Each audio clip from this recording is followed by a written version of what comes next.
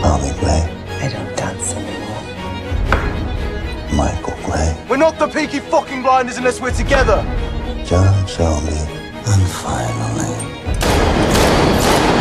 Tommy Shelby. And I want to suggest to you. Get the fucking out! It's me. Then we find Miss Bandana. What honor. No civilians. No children.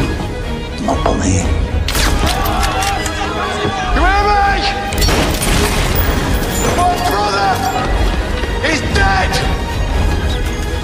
Get on your fucking knees and sign. You don't fuck with the Peaky Blinders.